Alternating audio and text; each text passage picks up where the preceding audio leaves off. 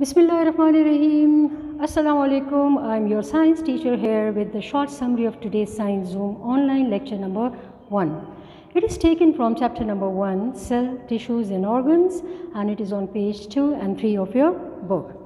This is your science book, Oxford Secondary Science, book 1 written by Terry Jennings. Before starting my lecture, I just want to tell you about the course content also for the midterm. The midterm course includes biology portion, chapter number 1 cell, tissues and organs, chapter number 2 sense and sense organs, chemistry portion includes chapter number 6 air and the atmosphere, chapter number 7 solutions and suspensions.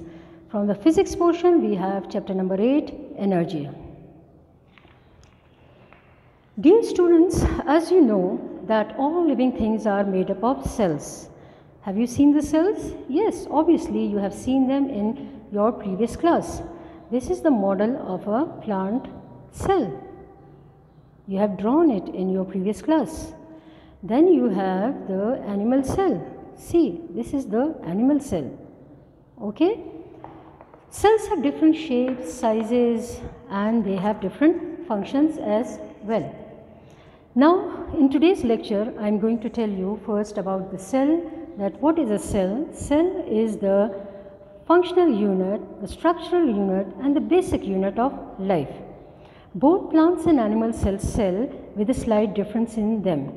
In today's topic, I am going to discuss the different organelles of the cell. Organelles mean the parts of the cell along with their functions and also the similarities and the differences between animal and plant cells with the help of a Venn diagram.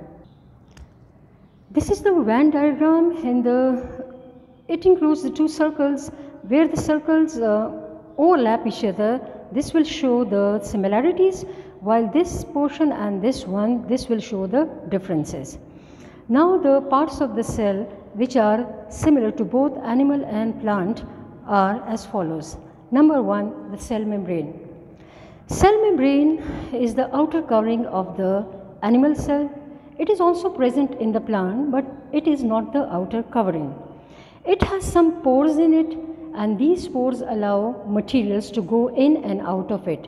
What are these materials which go in and out through it? That are carbon dioxide, oxygen, food, waste materials, etc. Then we have cytoplasm.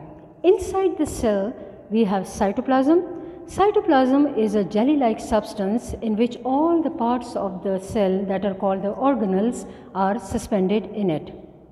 Out of these organelles, nucleus is the part of the cell which is present in both animal and plant cell. Nucleus is the control center of the cell. It controls all the activities that are going inside the cell. It also has the DNA which contains the hereditary material through which characters or genetic material are transferred from parents to offsprings. Then we have vacuoles. Vacuoles are the sac-like or bag-like structures in which, which are, which are the storage houses for the plant and animal cell in which food, water, waste material etc. are stored.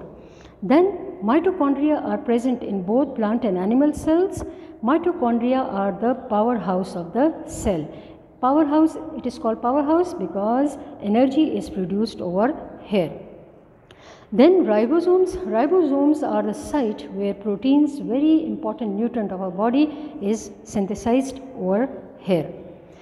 Now we move towards the differences. In the differences, the first difference comes from the uh, presence of the cell wall.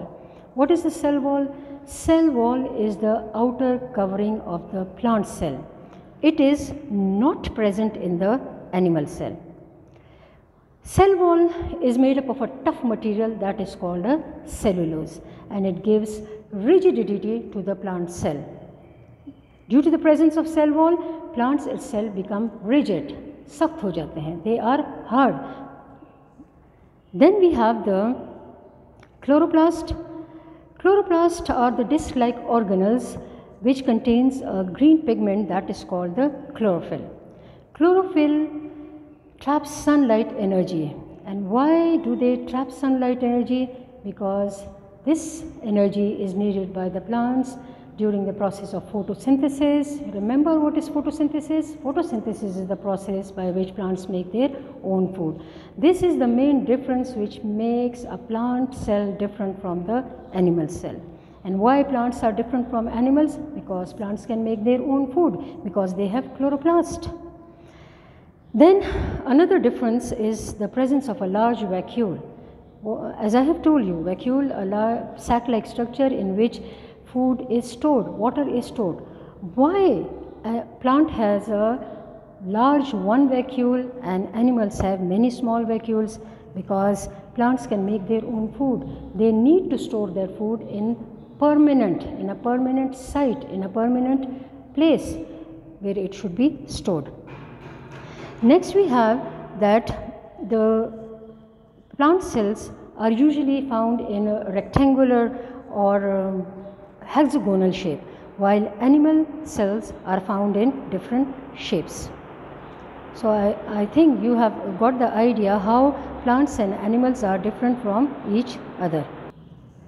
Dear students, now I will discuss the difference between plant and animal structure with the help of a, an activity. Okay. What do you think this is?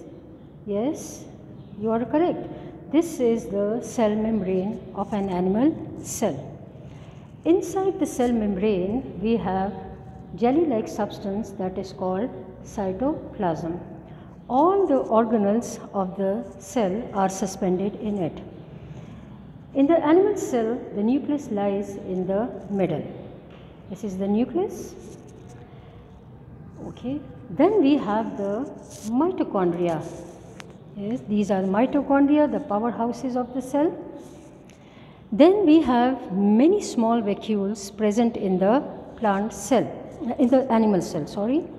These are the vacuoles which are present in the animal cell. Right?